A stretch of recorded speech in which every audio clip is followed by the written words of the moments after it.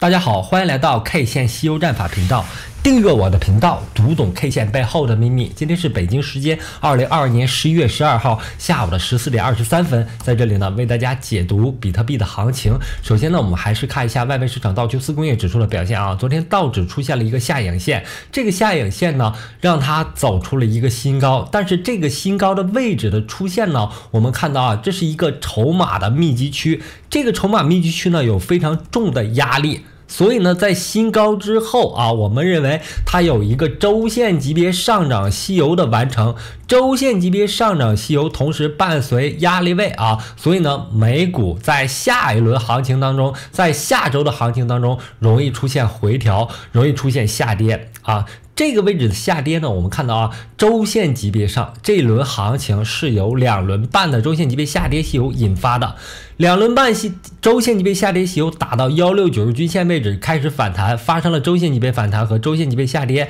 周线级别下跌这里啊跌到了周线级别的啊波谷连线的这个位置，所以呢，我们认为这个位置上容易出现日线级别到四小时级别的反弹。那么我们看到啊，反弹过程当中啊有各种利空的消息出现。首先是美国公布非农数据，公布 CPI 数据啊，这两个利空让底部形成 W 型底，W 型底出现。之后，在反弹过程当中，又有这个利空消息来袭。利空消息呢，就是美国公布加息七十五个基点，加息七十五个基点之后，美国又公布啊，加息未来将要放缓。同时呢，在前一个交易日啊，出现了一个公布 CPI 的数据啊，CPI 数据利好啊，十月份的 CPI 数据呢是呃非常高的啊，非常高的。所以呢，这则利好让美股不断创现新高。但是呢，行情有个趋势性的东西在这里，就是它已经形成了一个下跌通道。当前的反弹呢，仅仅是短时的站上了下跌通道啊。短时站上下跌通道之后，我们看到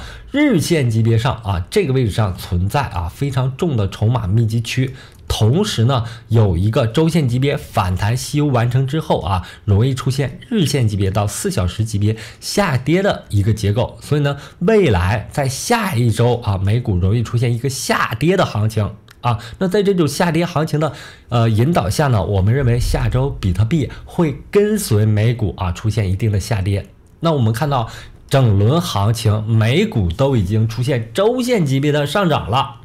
周线级别的反弹了，但是比特币非常弱势。它在本轮时间级别上，它的反弹周期仅仅是四小时级别。那么我们回到比特币的行情上来，那这轮行情我反复介绍了，这轮行情出现了四次等位置的波谷，这四次等位置的波谷呢，和牛市行情啊。同样也出现了四次等位置波谷，这两个四次等位置波谷的现象呢是互相对应的，非常类似。所以说呢，历史它是不断的重复，历史呢总是在错位的重复。我们可以观察到啊，牛市行情当中啊，第二轮的波谷的这个位置形成了不断诱空的结构。那么我们看到熊市行情当中是第三轮波谷这个位置不断诱空，然后在诱空之后。形成了一个窄的收敛结构。那么我们在前面行情当中说了啊，窄的收敛结构是容易出现反弹的结构。但是呢，我们看到比特币的反弹非常弱势，它在第三轮反弹过程当中最大的反弹幅度是百分之十八。啊，前面是百分之二十三，然后再往前呢，第一轮反弹它是百分之四十三，那这三轮反弹呢，构成了对三万点到幺七六零五的回补动作。三轮反弹完成之后，形成四次等位置波谷。根据江恩的四次等位置波谷容易出现新低的法则，行情到达十啊十一月中旬啊这个位置上不断创下了新低。那么目前我们看到的新低是幺五五八八。这是从结构上去观察比特币的行情。那么从消息面上，最近 FTX 交易所又是要倒闭，又是要被币安收购，来回反复的这个消息面的啊，影响了比特币在消息面层面上的一个下跌。那么本轮下跌，我们看到了是由 FTT 的暴跌引发的啊，FTT 交易所暴雷啊，呃，特别是在今天反复不断的提出这个 FTT 交易所要倒闭了。要黄摊了啊！很多人去提币，然后交易所本身也有很多内幕，很多资产正在不断的被转移那这些消息面的利空呢，让比特币的空头趋势得以延续。那么在本轮行情当中，我们看到了这一轮行情从十一月六日啊，十一月五日冲高之后啊，一直在向下跌破各种趋势线。首先呢，我们看到啊，跌破幺四四均线了，跌破黄色的波谷连线形成了支撑线了，跌破红色的啊九月份、十月份形成的波峰连线形成支撑。几个重要的支撑点啊，连续出现跌破，跌破之后，在日线级别上形成了日线级别的下跌西游的悟空阴线啊，这里面突出的这根阴线呢是悟空阴线，同时啊，紧接着走出了一个八阶阴线，八阶阴线走出来之后啊，它的下跌幅度从高点到低点已经达到了百分之二十七左右，百分之二十七下跌之后属于急速下跌。急速下跌之后必有妖，什么是妖呢？反弹就是对于我们空头来说啊，它的妖怪啊，所以呢，在前个交易日啊，出现了一个快速的反弹。我们看到当日涨幅啊，达到了百分之十点四四，百分之十点四四之后的反弹啊，表现非常无力。我们在这个结构上看到了，它的这个结构啊，出现了一个低点啊，同时呢，出现了一个波峰。波峰连线啊，我们可以连接出来一个什么呢？连接出来一个波峰连线的一个呃一条白色线。那么下面我们目前还没有办法找到波谷连线水平方向的线啊，只能是往上移动啊。它构成了一个什么呢？构成了一个大开口的收敛三角形。我们在西游战法中啊，第二部分四象战法啊，给出了是啊。大开口的收敛三角形，啊，它是一个不稳定的结构啊，在接近焦点的这个位置上容易出现下跌。如果出现下跌，那么我们认为它有可能在一万六千美金附近啊形成反复的小时线级别的啊四次波谷。如果出现小时线级别的四次波谷到达近焦点的这个位置上，也就是十一月中旬啊，还容易出现进一步的下跌。啊，因为我们看到了啊，之前的行情当中，日线级别牛市行情形成四次波谷出现下跌，熊市行情啊，在一万八千五百美金形成四次波谷下跌。那么极跌极端下跌的行情当中，它在日线级别上会形成一个下跌趋势，在小日线级别上会形成刚才我们提到的一个分形结构。什么叫分形结构呢？我们的雪花、我们的树枝、我们的手指啊和我们的身体。啊，我们的细胞里面的基因和我们整个人体啊，它它的结构呢都是分形结构。那么这些结构呢，啊，容易啊反馈到 K 线当中啊，就是小日线级别上的结构容易合成和这个日线啊这个时间级别上的结构产生类似。所以呢，我提出了一个概念，就是当前行情当中，在小线级别啊，非常容易出现这种拓展性训练的四次波谷。为什么我们说是拓展性训练呢？因为行情当中非常容易出现这种结构，啊，第一次打到这个一万六千美金啊幺五六八零附近之后啊，形成第一次波谷，那么第二次打到这里之后，还是容易出现反弹的呢？出现反弹之后下杀回来，你就会认为这是一个低点啊，这是一个共识的低点啊，然后它再次出现反弹，那么第四次出现反弹的情况下，很多人就会进场，但进场之后。啊，通过我们前几次的训练之后，拓展性训练之后，反复进场，进场之后，这个位置上啊，你非常容易被斩杀，啊，所以呢，本轮行情在下跌趋势过程当中，反弹就是你布局空单的一个好的机会。每轮的反弹呢，每次的反弹呢，都是你布局空单的一个好的机会。但是呢，你一定要注意的一点是啊，注意观察当前行情的一个时间级别。啊，因为之前的行情呢，我们往往是看日线的，往往是看日线的，因为它的上涨啊、下跌呀，它的节奏非常缓慢。但是不一样了，目前跌破幺八五零零之后，行情出现了一个极端下跌行情。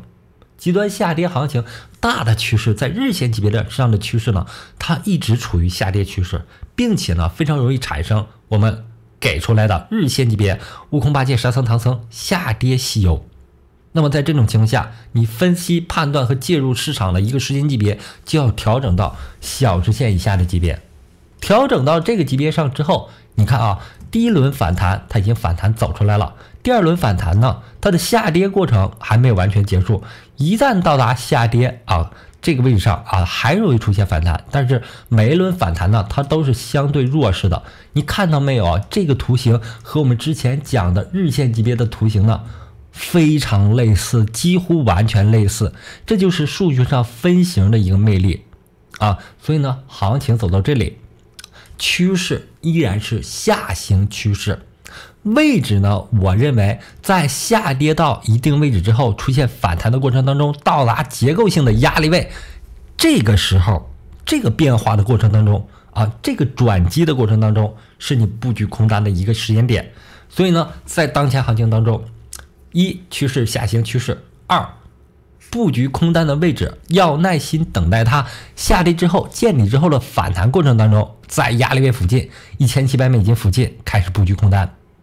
啊。那么接下来的行情，我认为它会在更大的时间级别上，周线级别上走出一轮周线级别的下跌修，最终呢到达我们给出的啊给这个位置给出半年有余了啊。从这个四月份开始啊。比特币的位置还在四万美金的时候，我们就一直在提这个一万零五百这个位置。那最终呢，我认为一定会到达我们所给的目标位附近。到达一万零五百之后，才是布局现货和多头的时间点。那目前呢，行情我们只做多啊，只做空不做多啊，只作为空头出现在这个市场中获利啊，做趋势上的获利。我们在最近啊观察到以太坊的反弹力度是比较强势的，强势的原因呢是由于这个结构，也就是以太坊对比特币交易对上的结构发生了变化引发的。我们看到了啊下跌趋势线啊，也就是说从牛市五月份。二零二一年五月连接过来之后啊，在零点零七附近形成了支撑，支撑位发生了反弹，两个交易日的反弹不构成反转，未来我依然认为以太坊对比特币。交易对啊会出现一个周线级别的下跌修，这个周线级别下跌修的悟空阴线已经出现啊，然后我们始终在悟空阴线附近震荡。接下来的行情当中，以太坊对比特币的交易对容易出现下跌西游，日线级别的下跌西游。这一轮的日线级别下跌西游呢，会平行于六月份的啊这块的下跌。平行式的下跌在行情当中很多机会会出现啊，我们会经常看到，所以呢一定要引起重视。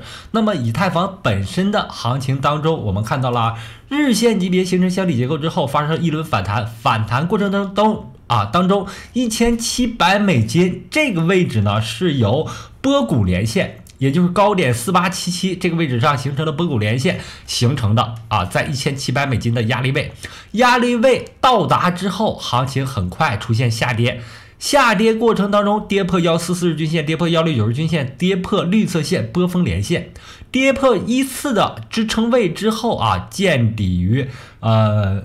幺零七幺啊，也就是最终呢到达了一个我们之前给出的一个目标位一千一百美金。到达之后，行情开始在这个位置上发生反弹。这个位置反弹上方，我们看到绿色线，这个形成的是一个压力位啊，在一千三百美金附近啊，构成了一个压力。反弹到达压力位附近，开始继续的下跌。那么行情走到这里，我们看到了到达一千三百美金附近啊，即开始了一轮下跌。那么也意味着行情走到这里，要不断的再次寻找波谷，再次的在小时线以下的级别上寻找到一个波谷，最终呢形成收敛结构，回补下跌过程当中急速下跌过程当中形成的缺口。啊，并且呢，它的最后的支撑是在一千一百美金附近，支撑位再次跌破之后，我们给出了一个周线级别下跌修的一个目标位啊。那么目前周线级别它已经走到了八节一线的这个位置上，周线级别下跌的一个目标位是两百六十美金，啊，这是对于以太坊的分析。那在今天的行情当中啊，我们突然发现很多平台啊，对于 FTT。啊，这个相对于 A 股市场来说，已经退市的币种啊，为什么说它退市呢？因为它的平台基本上倒架了，不可能在上面交易了，无法提现，无法提币，无法进行 CRC 交易啊，任何事情啊都和它没关系。之后，行情进入到了 ST 的状态。那在这种情况下，我们观察到边平台和 OK 平台啊，它的一个价格。出现了什么呢？出现了分歧啊，这可能会对于搬砖的朋友们啊一定的机会啊一定的机会。那么在这里面，FTT 是否可以继续投入买进呢？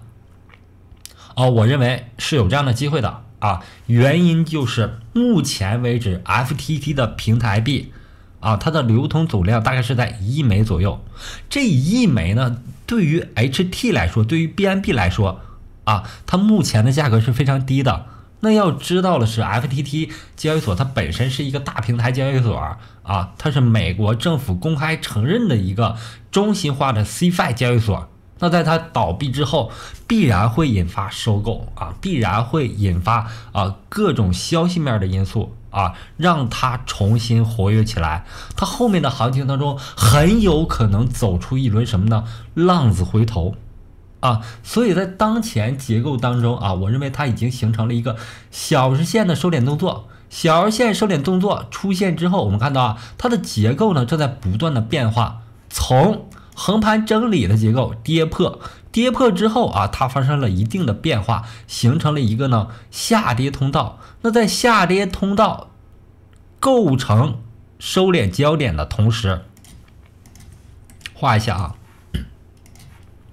下跌通道构成收敛三角形的同时啊，构成这个三角形的同时，它在接近焦点的这个位置上啊，就有机会发生反弹。毕竟呢，它的总量仅有一亿枚。那么我们看啊，对标一亿枚总量的平台币，BNB 已经二百八十七美金，HT 啊高点也非常接近十美金啊，OKB 就不说了啊，很多平台币呢，它的价值都很高的。但是 FTT 啊，FTT 这种退市币种啊，交易平台都快倒了的币种，它目前的价格仅有二点二五。所以呢，未来被收购之后。重新恢复交易之后，重新恢复提币之后，FTT 呢这个币种呢是有机会的，但怎么样介入呢？首先还是一点是，想介入一个现货币种，第一点要有仓位，有仓位就是和行情建立关系的第一步。第一步要有仓位，有仓位的同时要控制这个仓位，控制这个仓位占你总资产的百分比。比如说，你打算用十万块钱去投资 FTT，那你第一个仓位是占百分之十到百分之二十。如果继续下跌呢，缓慢去补仓。我采用的策略呢，大多数对于现货来说是马丁策略。比如说，再次跌幅百分之二十之后，再进行被投。第一个仓位百分之十，第二个仓位百分之二十啊。被投之后，一旦出现反弹，一旦出现反弹到达这个右侧的，通过焦点之后右侧的这个仓位。这种情况下呢，我把第二个仓位啊，第二个仓位进行减仓啊，进行减仓，然后再往上拉，逐渐减少第一个仓位，最终呢用利润去搏杀它的反击行情。为什么说它有可能出现反击行情呢？啊，原因就是它有可能公告各种利好，在熊市完成之后，它可能会公告各种利好，包括平台的收购、平台的重启、平台的充提币和可以可能进行的交易。啊，毕竟它是目前美国总统都在关注的一个热点币种，